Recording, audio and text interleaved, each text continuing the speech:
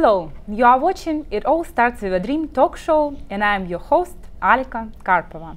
Once again, we will talk about dreams today. Dreams come true.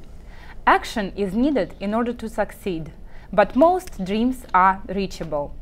In our talk show, entrepreneurs and professionals talk about their dreams, share their life experiences, incredible stories, and secrets of success.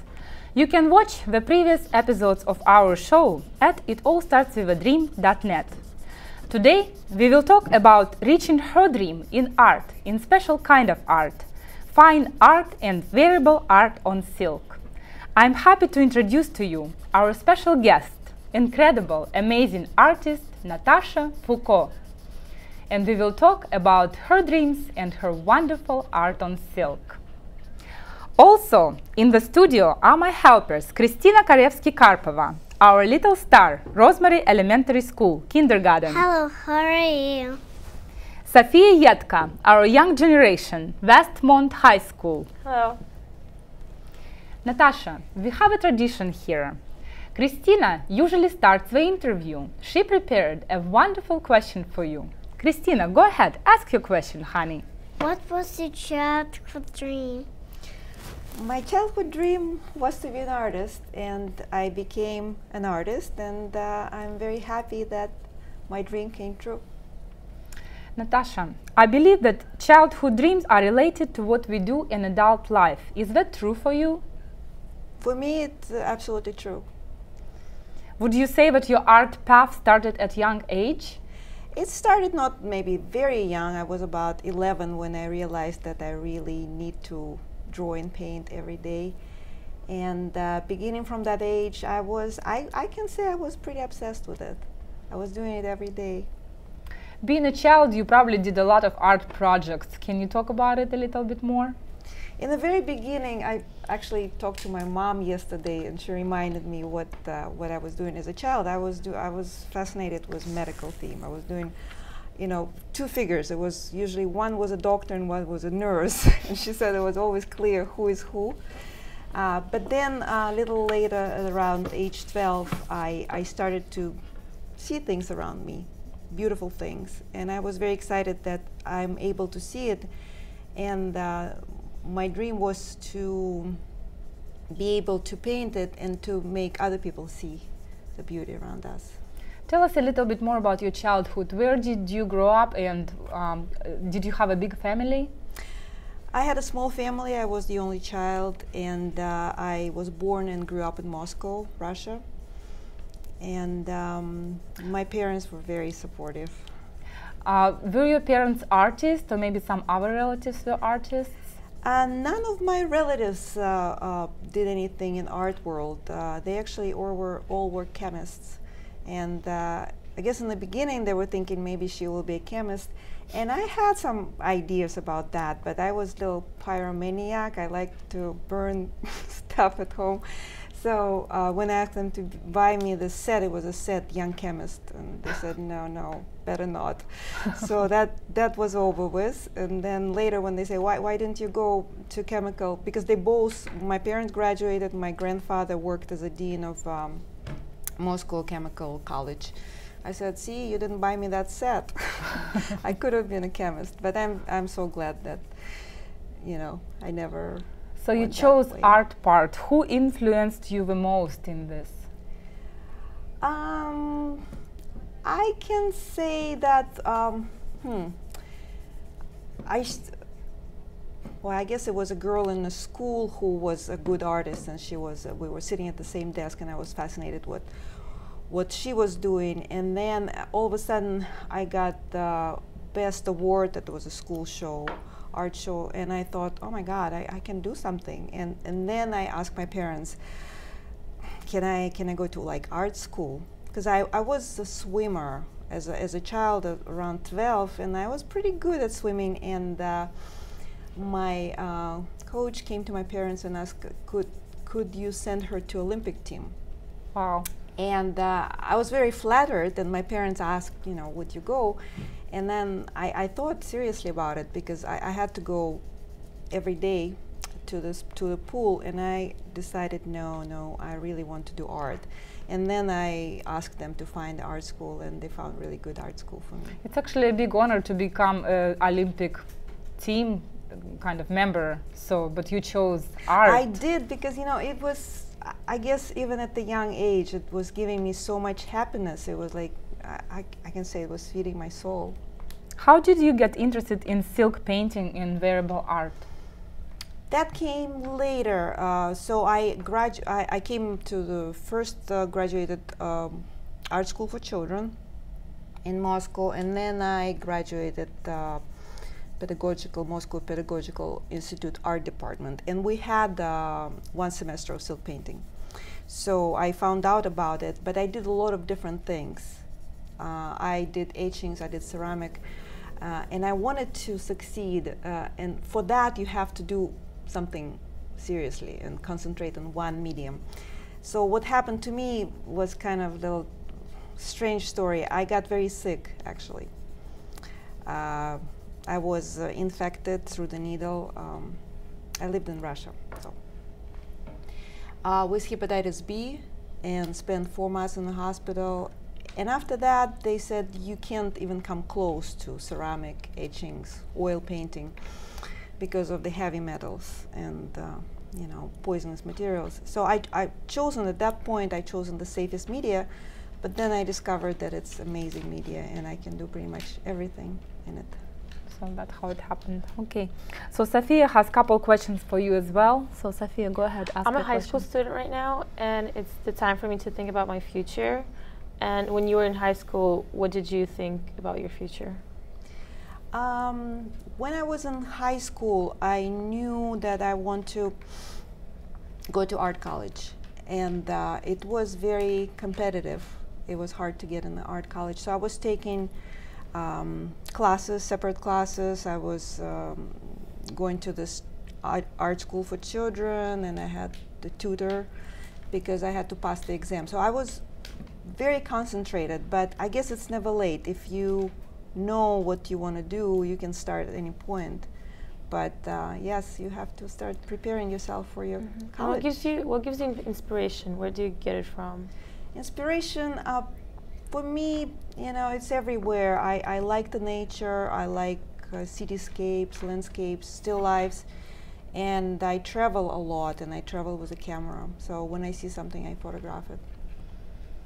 Natasha, you mentioned something about your degree. Can you tell a little bit more, maybe the most interesting memories of your student life or something?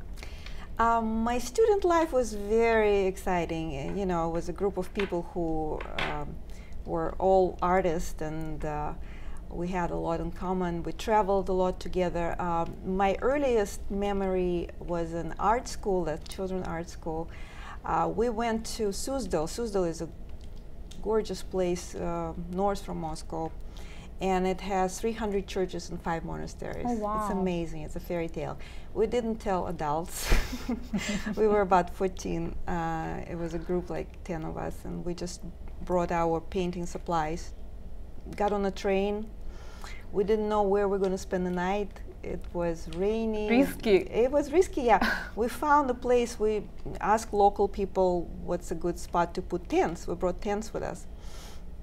And um, we woke up in this amazingly beautiful place on the river, bank of the river, Nerl, with a beautiful Kideksha church. I, I still remember how we, we all were amazed by, by all this beauty. We painted for three days there, slept in tents, got wet, completely soaked. It was raining. but this trip is my favorite. I actually described that trip in my book. Your book. Yeah. it's right here. Yes, okay. that Do you want to talk about this a little bit? Sure. Um, this book um, I wrote um, with co-author Jean Michel Salander. It was very interesting uh, project. Uh, it's kind of um, three in one. It's art book, um, autobiography book, and techniques. It's all in there. This is actually a place where we put the tents right around this church. it's a beautiful place. And uh, um, I described my techniques. So, um, like I said, I already been uh, an artist and I had my style. When uh, I became sick. So uh, I started to develop different techniques in silk how to paint glass, how to paint reflections. This is, uh, by the way, one of my paintings, and you can see that I'm very uh, interested in glass and reflections. Pretty much all my paintings have water in some form. So, and in this book, there's techniques how to do it on silk. So this, uh, I'm very happy that it happened. It was uh, a silk painting retreat for um, South Bay uh, Silk Artists Guild, and I was telling them stories. I usually have a slideshow and talk about how the paintings were done, but we had plenty of time. I told them stories, and uh, they said, "You have to write a book. It's a book." And I said, "I'd love to write a book, but I'm not a writer, and English is not my na native language." And one woman in that group said, "I want to write that book," and she did. Well, congratulations on that because I think to write a book it's a lot of work and you've done it. Yes, so I'm now very you have happy. it. I'm very happy about that. Good, that's good. Yeah, beautiful book. Let's put it right here. Yeah. Well, my next question is like I noticed that you like to travel in your art. Um, you have a lot of paintings showing Venice. Can you comment on that, please? I love Italy. I, I think I've been there already maybe six times, and of course Venice is one of my favorite. I already mentioned that I love water, and that is the place where you see water and reflections everywhere. Uh, and when I'm in Venice, I wake up uh, at four in the morning. It actually goes for every place I go. I like to catch the essence of the city of the town when there's no people yet and it, it for venice it works the best because venice is extremely popular so I can catch it without people and without boats or reflections are still. It's like glass, you know, you, you look at the reflection and this beautiful architecture right there in the water. So it inspires me. Can you talk a little bit more about fine art of yours? Um, so I have two pieces here in the studio. This one is uh, still live, uh, the view from my window, and um, the one on the bottom is one of the uh, cityscapes, San Francisco, Fort, uh, Fort Mason, sunset in Fort Mason. Uh, when I travel, I take photographs and then I try to remember what I saw when I, you know, when I sort over my pictures, and I try to find um, something which struck me, some feeling for that place, and then um, I do the, sometimes it's just uh, imaginary scenes, but mostly my fine art is uh, based on real thing. Because I think we can't do anything more beautiful that is already the, there, Exist. created by nature or It people. already exists. Right. Yeah, I have um, lizard piece on the photograph, that image that we will show for our audience. Can you talk a little bit about this piece, lizard? laser piece? Right. Uh, this piece uh, it was inspired uh, by the um, photograph I took at. Uh, it was in Hawaii. It was uh, Kauai, island of Kauai. I just saw this incredible scene: the lizard climbing on bird of paradise flower, and I caught her. I was so happy that I have her in the picture, and uh, she was like blend in. It's, it's hard to see her, right? It's hard to see her on that flower. So I, I just try to repeat it as close as possible to what I saw. Okay. Mm -hmm. My next question is like, um, you create such a beautiful wearable art. Can you talk a little bit more about that? Mm, I started working on uh, wearable art back in Moscow in Russia, and the reason why I wanted to do it is because uh, it was very hard to find interesting clothes or different clothes uh, as as children we were wearing brown uniform. Can you believe it, Sophia? Brown uniform. Brown. Yes, yeah. it was deadly. So I wanted something bright. I wanted something beautiful, and it was hard to come up with. Um, materials for with supplies for that. So uh, my first dress was uh, it was Saint Vitus Cathedral from Prague, and I found fishing net and I colored it black and I you know made the top from fishing net and the bottom was this stained glass uh, from uh, from the church, and um, everybody asked me, and I was very excited about it. And when I came to America 25 years ago, I found a lot of interest in it. So I widen, you know, this. I, I make dresses, coats, ponchos, capes, and actually here in the studio, we all dressed up for you guys. So. Yeah. Uh, It's a pleasure actually to have Yes. this beautiful outfit. Alec is wearing the cape, and, and this is Sophia inspired by and Dal- even Dali. Christina. Yeah, everybody. everybody. Sophia wearing uh, Venice piece with gondolas and uh, lamps, and uh, Christina wearing a piece inspired by Klimt. In my wearable art, I, I find inspiration everywhere. It can be a cityscape, it can be one of my favorite contemporary artists, like this piece inspired uh, by Miro, Juan Miro. I'm curious. Uh, many artists create paintings, but not so many work with silk. Am I mistaken, or is it like how how often do you see other artists doing what you're doing? Like Actually, yeah, it's a very good question. It is very new media for America. It's uh, it came to um, the history is very interesting. It came from Russia, actually. I read it in the book here. I didn't know back in Russia. Uh, in um, about 19, uh, 1917, when the court, Tsar's court, immigrated to France, they brought this technique, and in Russia they called it they call it cold batik. Here it's just painting on silk, and in France they called it peinture sur soie. And uh, French woman came to America uh, in uh, about 1960 and taught the first workshop on silk. And from that point on, there were you know few artists in America. And now we have Silk Painters International Congress. Uh, we get together every two years, so people actually from all over the world, but mainly from US who are interested in painting on silk. So I would say it's pretty new media for America. Can you tell a little bit more about technique? Like it's interesting, like How it's done. How it's done, yeah. yeah. Um, it does look like watercolor, but technically it's very different. Um, the paint, it's a silk dyes, the liquid silk dyes. They spread.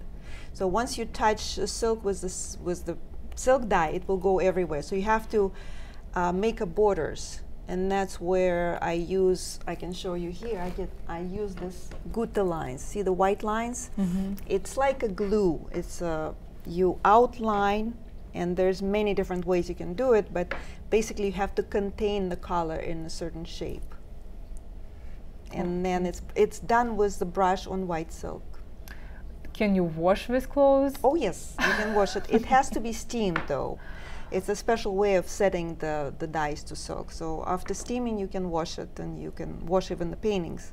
So they very durable. They look, uh, you know, fragile, but they very they last for a long time. Where did you learn it? uh, well, I learned it in Russia. Most of it I learned in Russia. I met the woman, she was 90 then, so she might have been in that very beginning of silk painting in Russia. And uh, I learned some from her, and then I lived in France for a little bit, and uh, it was very big in France. They had even like sets where they had pre-gutted, you know, with resist already on silk sets.